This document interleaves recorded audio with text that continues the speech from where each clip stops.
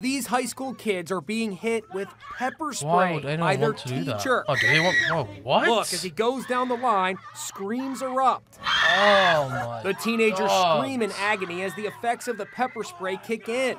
Some writhe in pain. The screams get louder. The shocking video Why are they shot by this? a parent is causing a firestorm on social media. Horrifying. No one should have to go through What is this. the point of this? They're being sprayed with a toxic substance. True.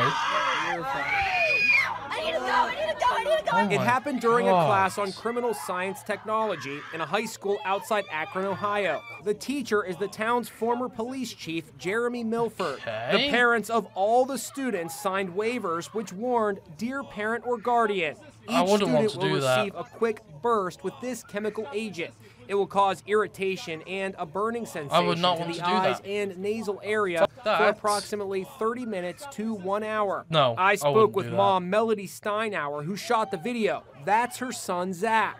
Zach, you're fine. I obviously had no idea it would be Yeah, he seems that fine. painful, but I was proud of them. I was proud of all the kids that did it. It hurt for a couple days. Like if you went to go get in the shower, it No, still just had no. resin in your eyes and it still. What is the? I'm so. Inside why Edition are they doing this? What's the point Steve of it? Guardian sprayed me with an inert version Oh, of pepper spray. bastards. Oh man, yeah. Now you can see this is spreading over my face pretty quickly. It's already in my eyes.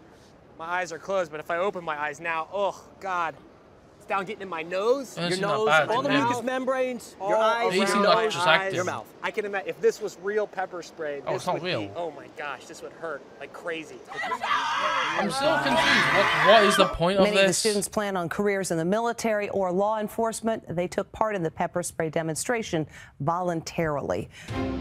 Why would anyone want that voluntarily? Why would anyone want to do that to themselves? What the fuck?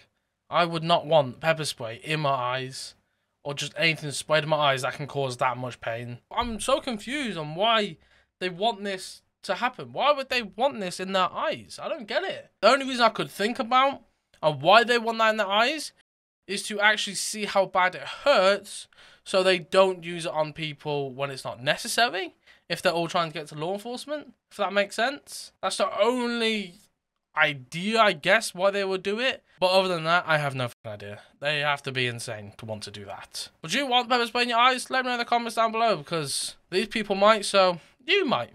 Let me know in the comments down below. And subscribe. I'm trying to hit 100000 subscribers by the end of the year so subscribe